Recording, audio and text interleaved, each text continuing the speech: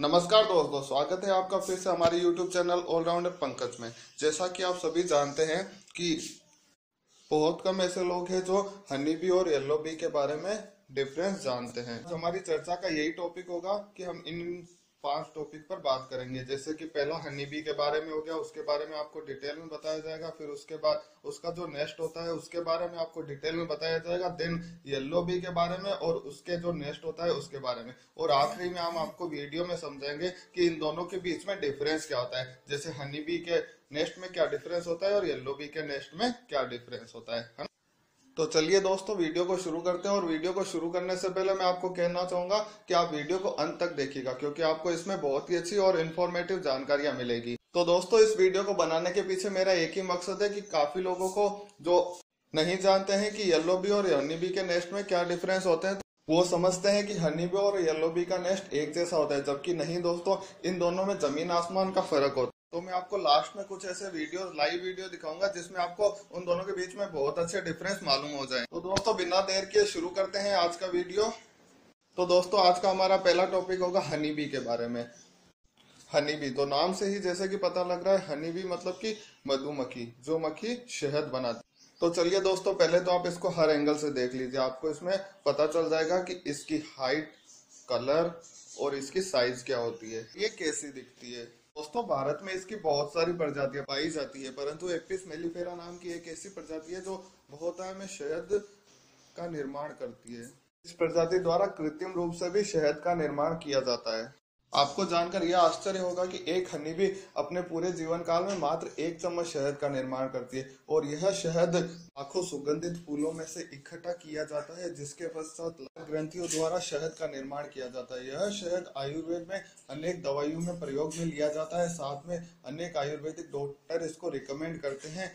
और अगर शहद की गुणवत्ता की बात की जाए तो मैं आपको रिकमेंड करूँगा, जो नेचुरल प्रकार से प्राप्त किया गया शहद हो, वही आप इस्तेमाल करें, क्योंकि नेचुरल और कृत्रिम दो प्रकार के शहद होते हैं, है ना? कृत्रिम प्रकार का जो शहद होता है, उसमें क्या होता है, जो भी मतलब शहद वाली मक्खियों को पालते हैं, वह कई बार उनको मतलब चीनी घोल करके उनको पिला दी जाती है, जिससे वह शहद निर्माण जल्दी से जल्दी करे। तो और नेचुरल प्रकार का जो शहद होता है, उसमें अनेक अनेक जो श्रमिक मक्खियाँ होती है, वो जाकर के मकरंद लेकर के आती है, जिसमें लार ग्रंथियों द्वारा शहद का निर्माण किया जाता है और उसको इकट्ठा किया जाता है उनके छत्तों में। अब इनके छत्ते की बात करते हैं तो छत्ते क्या होता है? दो प्रकार के होते हैं। एक तो कृत्रिम वाले छत्ते होते हैं और एक जो होते हैं नेचुरल छत्ते होते हैं। अब नेचुरल छत्तों में क्या होता है, वो आपको कहीं पे भी मिल जाएँगे। हालाँकि ये हर जगह पर मिल जाते हैं। इतना इसका कोई ऐसा नहीं है कि रेयर रेयर केसेस में मिलते हैं। ये हर जगह अवेलेबल होते हैं। चाहे आप किसी भी खेत में चले जाए, किसी घर के ऊपर, किसी मॉल के आसपास, आपको ये छत्ते दिख सकते हैं। अब इसमें क्या है, कृत्रिम जो छत्ते होते हैं, उनको एक बॉक्स के अंदर लगाया जाता है, जिसमें कृत्रिम रूप से ही वो बने होते हैं। उनमें क्या होता है सिर्फ़ मधुमक्खियाँ लाई जाती है, या उनके बीज लाए जाते हैं, और उनको पनपाया जाता है। उसमें मतलब उनको, उनकी प्रोसेस स्टार्ट कर दी जाती है। मधुमक्खी के छत्तों में तीन प्रकार की बीज पाई जाती है। जो फ़र्स्ट भी होती है, वो रानी मक्खी होती है ना? क्वीन बोला जाता है जिसको। और जो सेकंड होते हैं, वो होते हैं नर बीज और थर्ड नंबर पर आते हैं श्रमिक, जो शहद का निर्माण करते हैं। क्वीन एक छत्ते में एक ही पाई जाती है। नरों की संख्या लगभग 100 या 100 से थोड़ी अधिक हो सकती है, और जो श्रमिक होते हैं, ये हज़ारों की संख्या में उस छत्ते में अवेलेबल हो। वीडियो के लास्ट में अच्छे से हनी बी का जो नेस्ट होता है, उसका पोस्टमार्टम करके देखेंगे। फ़िलहाल अब येल्लो बी के बारे में बात करते हैं। आज मेरा वीडियो बनाने का मकसद यही था कि मैं आपको येलो बी के बारे में जितनी भी जानकारी हो सकती है, मैं आपको प्रोवाइड करवाऊँ। तो दोस्तों येलो बी मतलब जैसे कि देखने से पता चल रहा है, ये एक येलो कलर की बी होती है और दिखने में काफ़ी एग्रेसिव होती है। हाँ ये सच है, ये बहुत एग्रेसिव होती है। अगर ये आपको अपने नेस्ट के आसपास घूमते फिरते भी देख लेती है तो ये बिना सोचे समझे आपको बाइट कर सकती है। और हो सकता है 10 या 15 येलो भी आपको अगर बाइट कर जाए तो आपके इंस्टेंट डेथ भी हो सकती है, क्योंकि इसमें एक न्यूरोटेक्सिन प्रकार का जहर पाया जाता है। यह जहर हमारे लिए जानलेवा भी हो सकता है। येलो भी देखने में बहुत ही कम मिलती है, क्योंकि इनका जो, यह जहाँ पर पाई जाती है, वहाँ पर बहुत अच्छा एनवायरनमेंट होना चाहिए। बहुत अच्छे का मतलब यह है कि वहाँ पर पानी की अच्छी मात्रा होनी चाहिए नेचुरल एनवायरनमेंट होना चाहिए, भीड़ भाड़ नहीं होनी चाहिए पॉल्यूशन नहीं होना चाहिए। ऐसे स्थानों पर यह पाई जाती है, यह कहीं गाँव में मिल सकती है आपको बट ये आपको शहरों में कहीं नहीं मिलेगी। अगर बात की जाए इसके छत्ते की, इसका जो नेस्ट होता है येलो बी के जो नेस्ट होते हैं, उसमें ना तो हनी पाया जाता है, ना वैक्स पाया जाता है। ये हनी का निर्माण नहीं करती है। ये जो नेस्ट मेकिंग करती है, सिर्फ़ अपने बच्चों को, अपना जो पॉपुलेशन होता है, उसको बढ़ाने के लिए करती है। दोस्तों येलो बी की कोई फ़ार्मिंग नहीं की जाती, क्योंकि यह ना तो वैक्स बनाती है और ना ही हनी होता है इसमें, है ना? तो इसीलिए इसकी फ़ार्मिंग करने से कोई अच्छा खासा फाइनेंशियल प्रॉफिट नहीं होता, इसलिए इसकी फ़ार्मिंग भी नहीं की जाती। परंतु इसका जो नेस्ट होता है, उसका आयुर्वेदिक मेडिसिन बनाने में बहुत अच्छा उपयोग लिया गया है। आयुर्वेद में इसके जो नेस्ट होती है, उससे काफ़ी प्रकार की आयुर्वेदिक दवाइयाँ बनाई जाती है, जिसमें एलोपेशिया से रिलेटेड हेयरफॉल से रिलेटेड और काफ़ी सारे आयुर्वेदिक फॉर्मूले इससे रिलेटेड लिखे जा चुके हैं। दोस्तों, इसके नेक्स्ट का भी पोस्टमार्टम हम वीडियो के अंत में करेंगे। तो इसलिए आप वीडियो को पूरा देखिए और आपको पता चल जाएगा कि जो येलो बी होती है, उसका नेस्ट देखने में किस प्रकार का होता है और जो हनी बी होती है, उसका नेस्ट देखने में किस प्रकार का होता है। तो चलिए दोस्तों, शुरू करते हैं। अब मैं आपको बारी बारी से हनी बी और येल्लो बी के नेस्ट के बारे में कुछ डिफरेंस जो होते हैं, वो बता देना चाहूँगा। तो आप पहले देख सकते हो, मैं हनी बी के बारे में बात कर रहा हूँ। हनी बी का जो नेस्ट होता है, उसको देख सकते हो आप, ये दोनों साइड से ओपन रहता है। मतलब इसके यहाँ पर भी होल होंगे, ठीक है? और बैक साइड में भी सेम का सेम होगा इसमें भी यहाँ पर होल होंगे, है ना? तो आप देख सकते हो, और इसमें काफ़ी सारा वैक्स होता है। वैक्स मतलब ये आप दबा करके देखोगे ना इसको तो आपको बहुत ही ये चिपचिपा लगेगा, और साथ में ये एकदम सॉफ्ट सॉफ्ट भी लगेगा। सॉफ्ट का मतलब है ये काफ़ी नरम होगा, है ना? और साथ में इसमें से काफ़ी शहद भी बहेगा। मतलब शहद निकलेगा। अगर इसके अंदर होगा तो ये काफ़ी टाइम रहने के बाद भी नहीं सूखता है, क्योंकि इसके अंदर काफ़ी मात्रा में वैक्स होता है और ये दोनों साइड से ओपन होता है। है ना? देखिए आप इसके होल देख सकते हो, बहुत छोटे छोटे होल होंगे। ये जो हनी बीस होती है, ये उनका नेस्ट है। इसमें शहद मेकिंग की जाती है और वैक्स मेकिंग की जाती है। दोस्तों, ये नेस्ट जो होते हैं इजीली कहीं पे भी मिल जाते हैं। आप देख सकते हो, ये नेस्ट अभी पूरी तरह से इसमें शहद भरा हुआ है और ये दोनों साइड से ओपन है है ना? इसके बीच में एक ये लेयर होती है जो इसको दोनों साइड से अलग अलग दो पार्टीशन करती है इसके।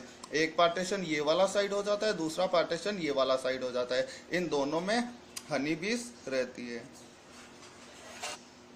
ये पूरी तरह से वैक्स का बना होता है और इसमें जो ये वैक्स में बने हुए होल हैं, इनमें ही वो हनी भी अपना जो प्रोसेस होता है वो कंप्लीट करती है। तो दोस्तों, आपको थोड़ी बहुत जानकारी हो गई होगी इसके बारे में कि ये दिखता कैसा है और कैसा होता है। ठीक है? अब मैं आपको बताता हूँ कि जो येल्लो बी का नेस्ट होता है, वो किस प्रकार होता है है ना? तो दोस्तों, आप देख सकते हो, ये जो नेस्ट है, ये येल्लो बी का है, जिसको ततैया बीरड बोला जाता है है ना? ये क्या होता है? ये उसके जैसा बिल्कुल नहीं होता।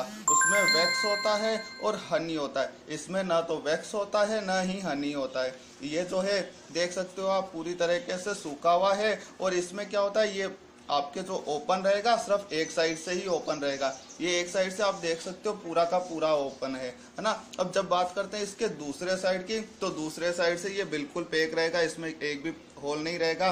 ना उनके आने का रास्ता होता है, ना जाने का रास्ता होता है। ये उनका होता है जो छत होता है, जो टॉप होता है है ना? ये छत पर ऐसे चिपका रहता है, छत का हो चाहे पेड़ों पर लगा हुआ हो तो ये ऊपर वाले हिस्से से ये इसका जो पॉइंट होता है, ये यहाँ से चिपका होता है, ये इनकी नींव होती है। है ना? ये एकदम मजबूती से उस पर चिपका हुआ रहता है, किसी भी बिल्डिंग के ऊपर हो गया या किसी पेड़ के ऊपर हो गया। अब बात करते हैं इसकी, ठीक है? तो इसको आप देख सकते हो, बिल्कुल सूखा होगा। और ये एक पेपर वाश भी बोला जाता है इसको, जो पेपर के टाइप का होता है। आप देख सकते हो, बिल्कुल पेपर टाइप का होगा। जबकि वो एकदम वैक्स टाइप का होता है, जो नीचे पड़ा है है ना? वो है आपके हनी बी का नेस्ट और ये है येलो बी का नेस्ट तो इन दोनों के बीच में आपको डिफरेंस पता चल गया होगा। मैं फिर भी आपको इसको एक बार कटिंग करके दिखा दूँगा।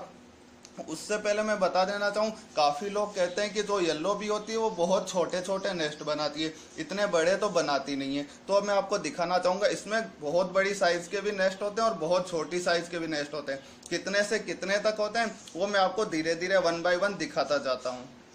देखिए दोस्तों ये सबसे लार्ज साइज़ का है। इससे जो छोटी साइज़ आती है वो मैं आपको दिखाना चाहूँगा। ये उससे छोटी साइज़ का है है ना? ये भी सेम वैसा ही है। ऊपर से एकदम ड्राई होगा और बैग से पूरा पैक होगा है ना? ये उसका ऊपर का जो पॉइंट होता है जहाँ से ये चिपका रहता है। अब इससे छो, छोटा सा दिखा देता हूँ मैं आपको। ये इससे थोड़ा छोटा है।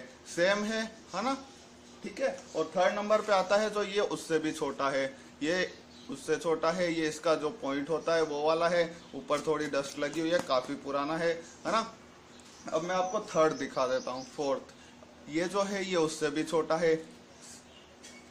ये उससे भी छोटा है। जैसे आप देख सकते हो, इसका भी एक बैक साइड का है, जहाँ से ये लगा रहता है है ना?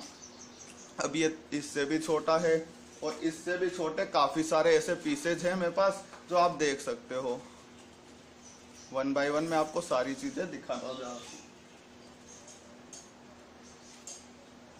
ठीक है? आप देखिए, सबके पीछे ये रहेगा। छोटा या बड़ा, ये ज़रूरी, ये मेजर नहीं है कि ये रहेगा। मेजर ये है कि आप देखिए कि ये पीछे से पूरा पैक है या नहीं है है ना? येलो बी का सबसे खासियत यही होता है नेस्ट का, ये पीछे से बिल्कुल पैक रहेगा और आगे से बिल्कुल ओपन रहेगा। और आपको अगर पता करना हो कि ये नेचुरल तरीके से खाली हो चुका है या नहीं हो चुका है तो उसके लिए सिंपल सा आइडिया है। आप देख सकते हो कि इसके ऊपर ये जो व्हाइट वाइट आ रखे है ना, ये इजीली बाहर निकल रहे हैं ना? ये होता है इनका कवर ये जो होल होते हैं, इनका कवर होता है। इसके अंदर जब तक लार्वा रहता है, तब तक ये होल होता है जो पैक होते हैं। है ना? ये बिल्कुल पैक होते हैं, ऊपर से अंदर लार्वा होता है। जब लार्वा बड़ा हो जाता है प्यूपा कंडीशन क्रॉस करके बी बन जाता है, उसके बाद क्या करता है, वो इसको अंदर से कट करता है और बाहर निकल आता है। तो जब ये कट करता है तो ये पूरी तरीके से ऐसे ओपन हो जाते हैं और वो एक आउट हो जाते हैं इसमें से। ठीक है? देन ये नेचुरल तरीके से खाली जो नेस्ट होता है, वो बच जाता है। अगर किसी के ऊपर ऐसा वाइट नहीं हो तो आप समझिए कि जो बीस है, उनको उड़ा करके लाया गया है, या फिर इसके अंदर बच्चे हुए ही नहीं थे, है ना? दिस लाइक दिस ये है ना? इसके ऊपर इतना वाइट वाइट नहीं है, और ये बहुत ही स्लिम है, एकदम, ठीक है? तो आप देख सकते हो, इसके अंदर कुछ नहीं था। ये बिल्कुल छोटा सा नेस्ट है, जो बीस ने बनाया था बट उनका सीज़न ऑफ़ हो गया होगा तो ये उसको छोड़ करके चली गई। तो ये एकदम यूजलेस है है ना? जो यूजफुल है उसके बारे में मैं आपको दिखा देना चाहूँगा कि जो यूजफुल होते हैं, वो ऐसे होते हैं। ये थोड़े से मोटे होंगे, और इनमें देखिएगा आप, ये ऐसा ऐसा कुछ सिप्टम दिखेंगे आपको, ये ब्राउन ब्राउन कलर के इसके अंदर से। ठीक है? ये क्या होता है, जब लार्वा इसके अंदर रहता है ना तो कुछ आउटपुट निकाले जाते हैं लार्वा के द्वारा।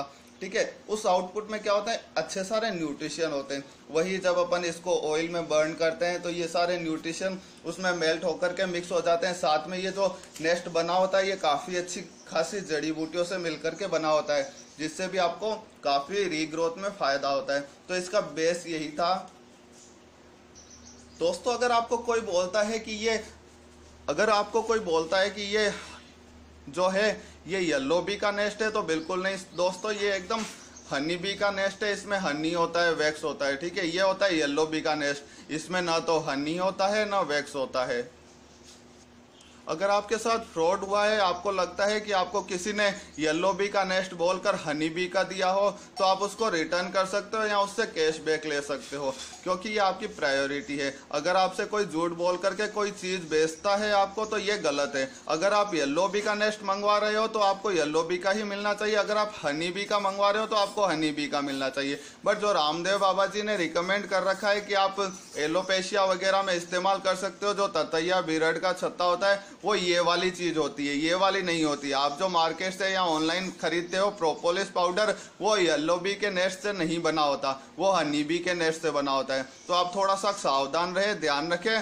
धन्यवाद। दोस्तों, अगर आप चाहते हैं मैं इसी प्रकार वीडियो कंटिन्यू बनाता रहूँ तो आप मेरे वीडियो को लाइक करें सब्सक्राइब करें और नीचे कमेंट करें। धन्यवाद दोस्तों, आप अपना प्यार इसी प्रकार मेरे साथ बनाए रखें।